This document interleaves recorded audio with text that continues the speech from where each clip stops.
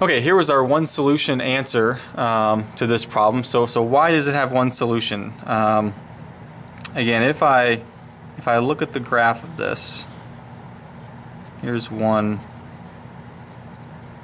There's pi. The graph keeps going, but I'm only interested in, in looking at a little bit of this. Um, graph does this. And it just kind of keeps going. We know that. Um, here the decimal that I was interested in was 0.36. That's probably like down here. Okay, well notice it hits the graph once right here at 21.4 degrees. That's what the calculator had given me. Well, if I continue tracing this over, also hits the graph over here. So what's 180 minus 21.4?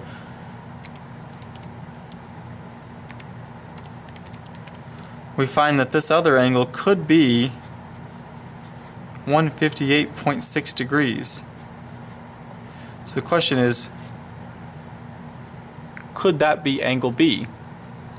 Well, I argue that it can't be angle B, and the reason why it can't be angle B is because in a triangle, we know that the three angles must add to 180 degrees. Okay? We started with an angle A of 42 degrees. It's given, has to be 42 degrees. If we allow angle B to be that big, okay, 158.6 plus 42 is over 200 degrees already.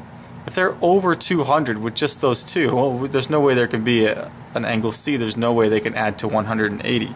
So in this case, why it's one solution is because this angle B is quite simply just too big. So we can just throw it out. In the other case where there was two solutions, it, it was not too big and therefore we kept it.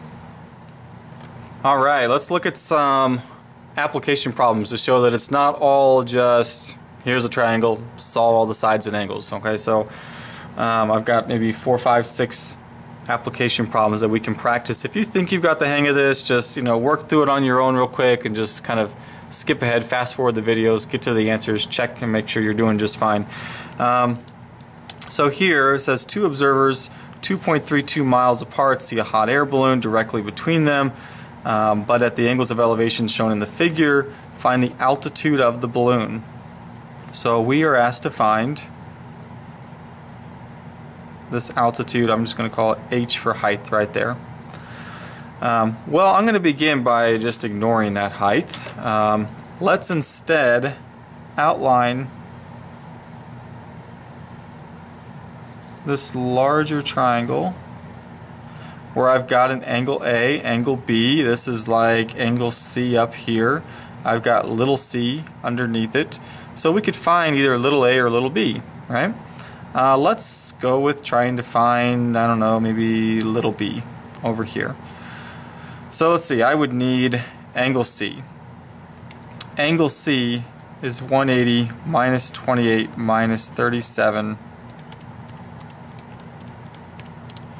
So that would be sine of 115 over 2.32. And if I'm going to find little b, I need sine, sine of angle b over little b.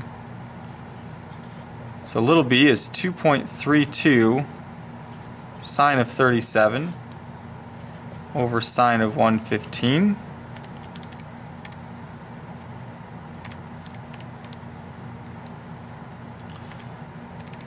That comes out to be a little b of 1.54.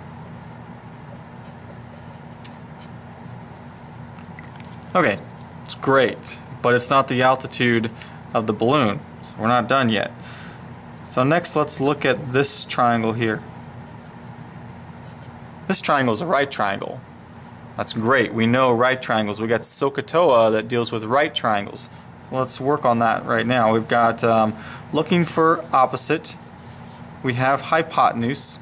So I would say that the sine of 28 equals opposite over hypotenuse. So I just need to multiply together that 1.54 times the sine of 28. I get a height of 0.72 miles. And alright, it seems like a small number, like that hot air balloon is not very high in the air at all, but when you consider that the units are miles, you can consider that, you know, that is about 3,818 feet. So uh, that's up in the air quite a ways. Okay, this says a 4-foot airfoil attached to the cab of a truck reduces wind resistance if the angle between the airfoil and the cab is 18 degrees. That's kind of hard to gather from this picture because the 18 degrees is right there.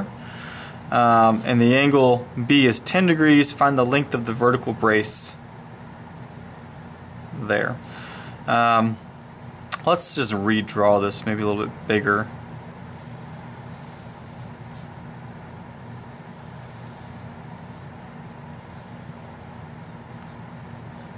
This is 18 degrees, this is 4 feet. This is what we're trying to find.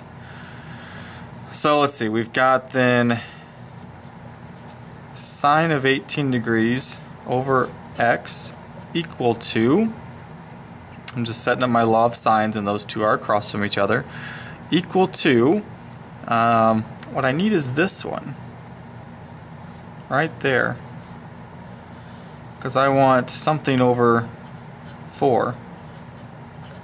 So I got to figure out what that is. And to figure out what that is, I believe this is where we're going to use that 10 degree value. Let's just draw this in here. So that was 10. This is a right angle. That makes this 80. It's 10 plus 80 plus 90 would be 180. If that's 80, that makes this, oops, 100 degrees. As they're on a straight line, they have to add up to 180. Okay, so this angle that we need is 100 degrees. So x equals 4 sine 18 over sine 100. And on the calculator we go. I get 1. Looks like approximately 2.6 feet. Okay, this next problem, it's labeled number 43, is uh, pretty much identical in type to the problem two slides ago labeled number 40. Um, it's just there's no picture drawn. The numbers are going to be a little bit different. Um, so why don't you go and pause it. Uh, what I'm going to do is um, I'm just to skip ahead. I'm just to pause the video myself and I'm to do all the work and then I'm to unpause it and just let you see the solution and see the answer. Um, so the answer is just to like appear. Uh, just going to like pop out at you. So um, you want to go ahead and hit pause, try it on your own, and then hit play and you'll see if you got it right or not.